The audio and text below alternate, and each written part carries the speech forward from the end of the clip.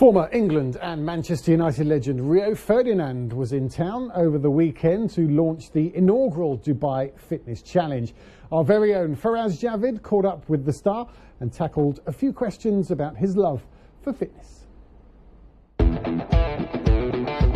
The much awaited Dubai Fitness Challenge kicked off at Safa Park this weekend with an incredible two days filled with celebrity appearances, fun activities, stage acts, and a host of events to keep the adults, kids, and entire families energized. Former England football captain and Manchester United player Rio Ferdinand was also in attendance to lead the festivities and encourage people to embrace an active lifestyle. Now, from hearing about the concept to taking part, what, what got you excited about the whole event? Was, I just saw it as a unique experience for the people that are here in, in the region, and I just thought, well, I didn't really have an idea of what it would be like. So coming down here and seeing what it's like was a, a, a, a real surprise really. Loads of people really interested obviously in sport and fitness and more importantly making it part of their lifestyle. Is it difficult to encourage someone to take up an active lifestyle? It depends. I think it depends on that person's mentality. Do they want to make a change, just not physically, but also mentally? Because I think that what people need to understand and realise that, uh, like football, any sport, um, working out isn't just physical.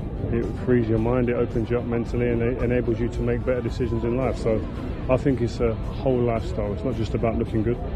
You want to look good, but you want to feel good too. Now, you're an epitome of active lifestyle yourself, uh, right from football to starting up boxing. What got you excited about boxing? No, it was just a challenge. Somebody came to me and offered me a challenge of becoming a professional boxer, and I thought, you know what, let me try. I miss competing, I miss going 1v1 with someone and that 1v1 battle I like, so we'll see. I want to try and make it as a professional. I have to get many levels first. I have to train, see if I can do it mentally and physically.